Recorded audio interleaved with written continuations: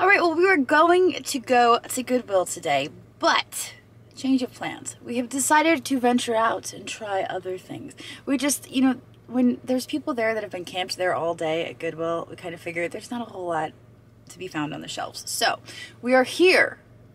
Where is here? Here is it's definitely not a hemp outlet, as it says on the side of the building. I think this is called The Junction. That's what I put into my GPS. Um, and we are here. It says moving sale, 50% off everything. They're moving. So I'm to go ask permission to film. If you're seeing this video, I was granted permission. Um, but we're to see what we can find that we can buy and flip for a profit. So here we go. As soon as we walked in the door, this little shop showed a whole lot of promise. Dagny actually noticed this vase first, but she passed on it. It was $34. It is Fenton. It's worth probably 65 to $75. That's me confirming that she doesn't want it, and she didn't. So I said, All right, well, if you're not going to take it, I will take it. so I have not tested it yet under black light, but it more than likely does glow, and it was just beautiful. So I ventured further into this little shop here, and you can see there is so much variety.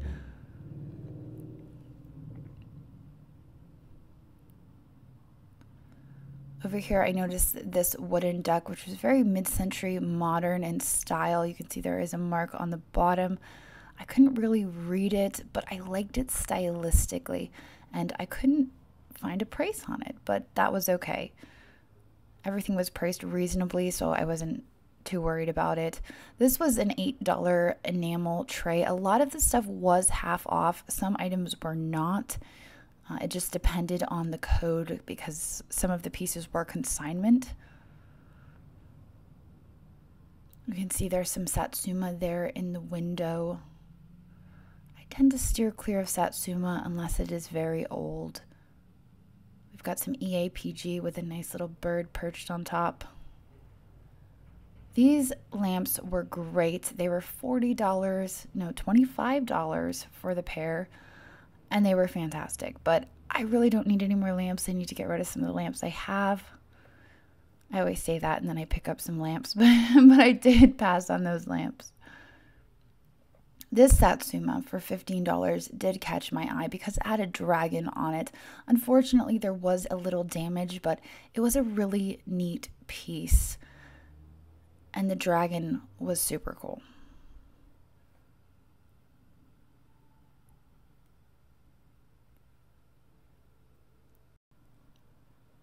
Here in the back, you can see there's a lot more stuff and it's a little bit overwhelming. I kind of get this like information overload when I'm trying to process all of these pretty things. There's some enamel vases there and what appears to be some L.E. Smith on the shelf. I kind of zeroed in on this carnival glass vase in the back. And I was a little confused by the base color. It was $6. The base color was a little green and it was a little blue at the same time. So I found it interesting. But it was $6 and I wasn't sure if that piece was half off. I was just treating everything as if it was full price. Dagny found all of these little families of critters. she found a little squirrel family and a little skunk family. Then she found a little fox family and she was very happy with all of these little families, and you can probably find them in her eBay shop, which is linked down in the description under Shop with Our Friends. She will be listing them there if she has not already. There was a little nook off to the right, and they had some hand painted vases and other pieces.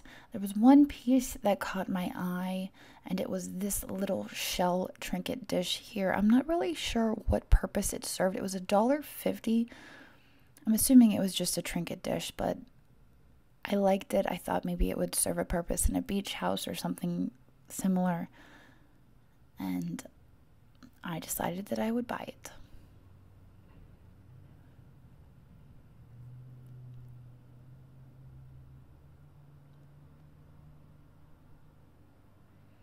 Didn't even notice those cute little noses there. I should have grabbed those for Ashton and Juliet. We have some fossils here. These were kind of reminiscent of my time spent at my grandparents. They have a field out back, and these these fossils are just everywhere. We used to go pick them up when we were kids, so I had to at least check them out.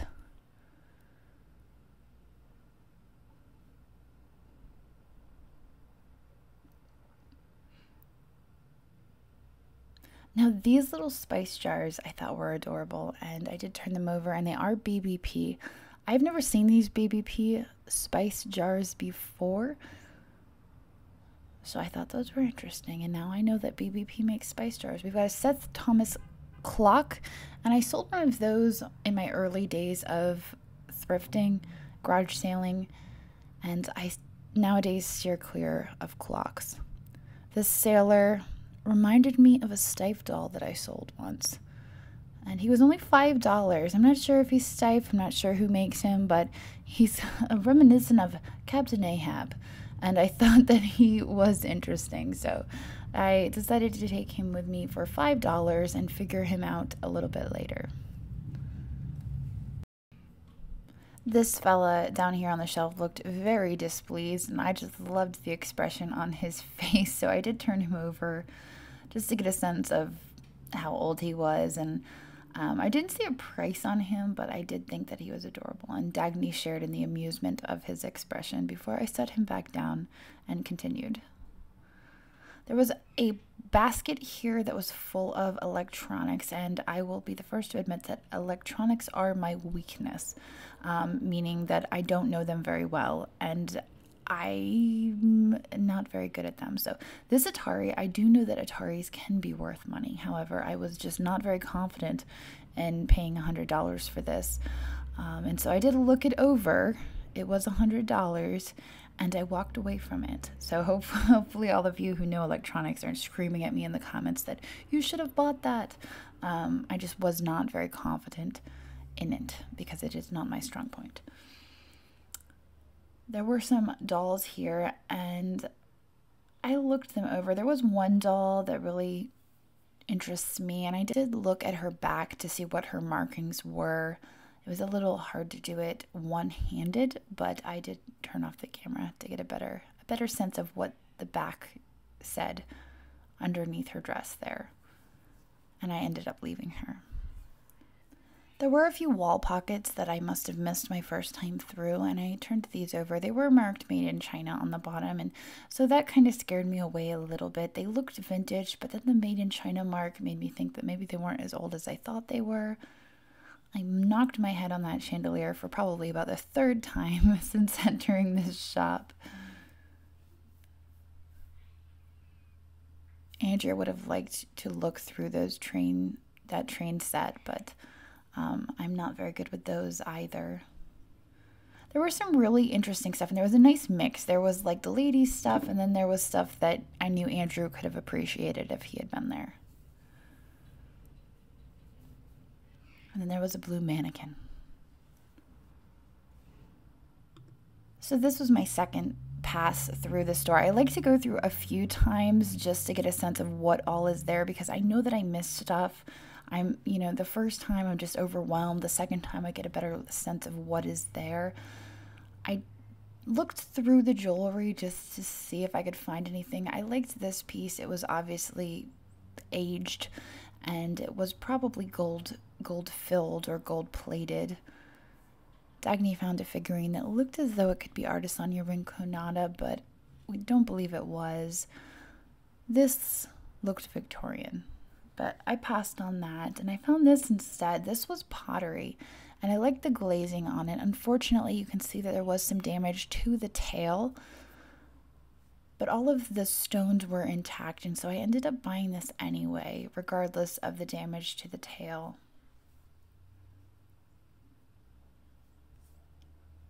There was a faux scrimshaw pin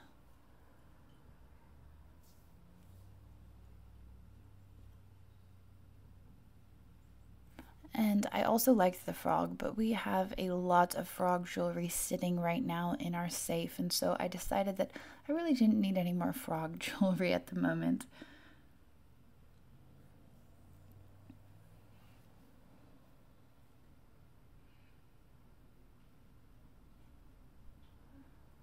Dagny found this adorable little cat ring, and I wasn't sure if it was sterling or not. I didn't actually take a close look at it, but regardless, it was a very adorable little cat ring that would just hug your finger.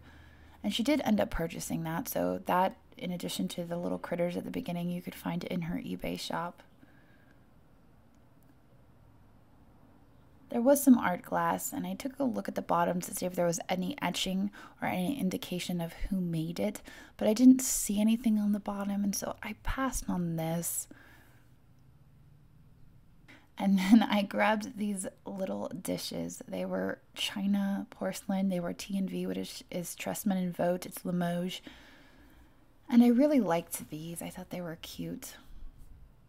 This decanter set, I noticed when we walked in and I kind of walked by it and eventually I circled back around. It was $25 for the entire set. And it had the original stopper. A lot of the times the stoppers get lost and it had all the glasses. And so I couldn't leave it behind. I had to take it with me and I felt like it would have had a, a decent resale value. And so um, it's a very mid century modern. It would blend well with mid century modern decor. I was checking to see if it was half off and it was excluded from the half off. So even at 25, that's a great deal. Now I've discovered the teacups, and you guys know that I usually avoid teacups. I usually leave teacups and teapots to Andrew. He's got an eye for them. However, I did look at the mark on the bottom, and I believe the crossed swords are Meissen. And so that mark intrigued me, and I thought, you know what, $8 on these teacups? I think that I could do $8. And I also believe that these were half off. I think they were. And so, whether or not they were full price or half off, I felt like that was a good deal. I loved the bright gold on them, and I thought that they were just beautiful. So, I ended up buying three sets of the teacups because they were all marked the same with the crossed swords. This one had a more floral pattern as opposed to the shells. And again, this one was also floral. This one was a different marking on the bottom. And so I left that one behind. But that one, definitely. I, I grabbed all the teacups. And hopefully I did all right. Now, Dagny found this, and I had also seen this, and from the top view, I thought that this was a blue luster. I thought it was China. She turned it over, and she saw that it was actually Murano and I would have never guessed that in a million years. So she found this beautiful leaf shaped dish. It is marked Murano, and there is another marking on it that I'm not familiar with, but it was just absolutely stunning. So she found it, and it is beautiful, and you can find it in her eBay shop. And just like that. Magic of color. We are at a new location. This is actually where they are moving to. This is where they are going to have their new location. Um, it is called Awesome Stuff. Awesome Stuff.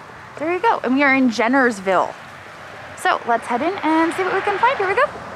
Us on Facebook. 896 Junction Consignment.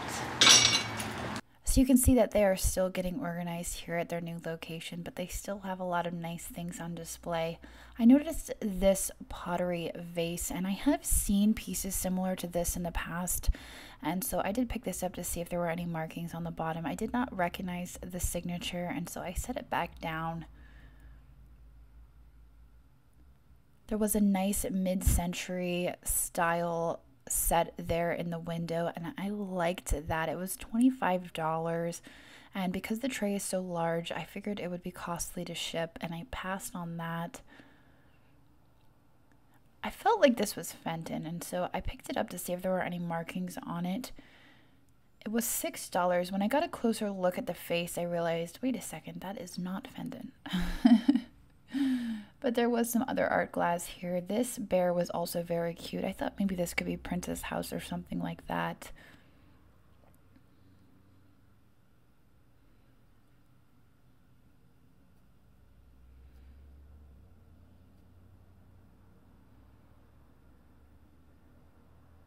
This vase here did have a made in Italy sticker and I loved the optic look to it. It had a crimped edge and the red was really vibrant, so I did buy this. Before leaving the room, I stopped to admire these miniature paintings. I thought the shape were absolutely adorable. They were very cute. Now, in one of the other rooms, I found this basket with the crimped edge. It was a pink opalescent with hobnail for $26. You guys know I am a sucker for glass. I looked it over to see if there was any damage, and a lot of the times those little crimps will have damage and it tends to hide, but I did not see any damage on this. There were some planters on the shelf, some swan planters, and of course I went for the blue duck because he was just odd and I liked him. I liked the glaze, I loved the blue color and the contrast with the green. There were some other planters there, including a Haeger planter, and even though the glaze was nice, I passed on the Haeger. Dagny found a nice little basket and she liked that one but ended up passing on that. We went back out to the foyer there, and they had some miniature vases and vessels. There was also jewelry, and I wanted to take a closer look at some of the jewelry and little trinkets that they had in the front area. You can see some bracelets. I liked the scarab bracelet. I've always been drawn to the Egyptian revival pieces. That one I think was a little bit later than Egyptian revival.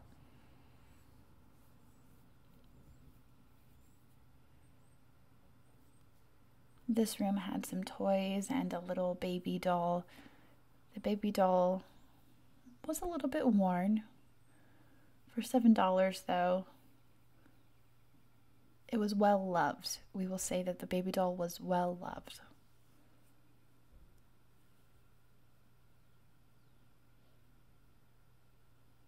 This brass piece caught my eye just because it was ornate and I thought that she was pretty. It was a candlestick. I ended up putting it back. I don't really need any brass right now. Dagny found this Mother Mary statue. Now, personally, I am steering clear of anything having to do with Mother Mary recently after having a very bad experience with a buyer who purchased a Mother Mary statue from me and it just kind of soured the whole experience of purchasing religious items. So I'm going to steer clear from those for a while. But I did wander into this room where there was a lot of clothing. I don't typically buy and sell clothing, but I figured I'd check out what was here. There were some purses, and I gave those a look. A few vintage ones here, and fun frilly ones. Now, I always tell you that I make a couple passes, and this is my second pass through this room just to make sure I haven't missed anything. And of course, I did. I missed these adorable little critters. Now, Dagny was able to look these up and find out that they were some sort of snack vessels I would have never guessed that. But they appear to be birds, which I really liked, and they were so fragile. They're very fragile glass, which surprises me. I wouldn't give them to my kids filled with snacks, but they are very interesting and they are cute and shaped like birds, and there were two of them. Dagny found this art glass bowl, and even though I loved the contrast of the white and the green, I ended up passing on that and picking this up. It was a very nice fine porcelain china. There was a mark on the bottom, but um, I think it was Wet Wittenberg, Wartenberg. I thought I liked the contrast of the green with the gold, and so I ended up picking this up. I suspect it's a relish tray because it's shorter than a bread dish even though I sat it back down, I did end up picking it up and taking it with me. But I, I found this as well. And what I liked about it was the colors. It was a green and a dark brown. A lot of the times I find these and they're like a taupe color. So it was the colors that really attracted me to this piece. And I ended up grabbing both of these. Well, Dagny helped me because she was my extra set of hands. I thought that maybe this could be Schumann Bavaria because they have a lot of these reticulated edges. And so we moved these out of the way to turn it over and check. And it was marked made in China on the bottom. So that was a bust. But um, that was it for this shop. And I, I feel like we got some really great items. And I was pleased with everything that we bought. All right, well, our total spend here at this location was $68, and at the last location, I believe it was about 87 $87. So we found some really great stuff. I'm excited with everything we got. The prices were great, perfect for resale or for someone who is just looking for a great deal. We will definitely be back. Um, they will be fully moved into this location, she said, by April 1st. So um, this is where it's at right down the street from the most magical Goodwill in all the land. And that is where we are heading next. So I will see all of you tomorrow, probably at Goodwill. Later. Thanks for watching and I hope you enjoyed this video. In case you spotted something you just can't live without, we do post 25 to 30 new items in our eBay shop every single day, and I've posted a link to that down in the description.